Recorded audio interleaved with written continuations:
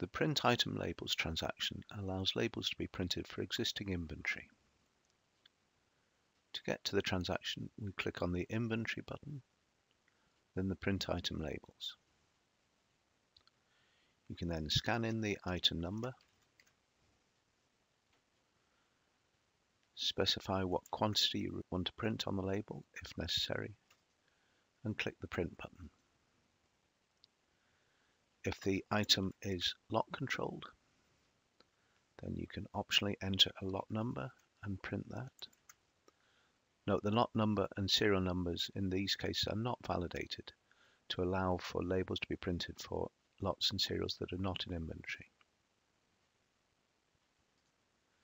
If the item is serial controlled, then we can also print the serial number associated with the inventory. And finally, we can also print a label for a handling unit that's in inventory. In this case, it will check that it is a valid handling unit and pre-fill the quantity with the quantity on the handling unit.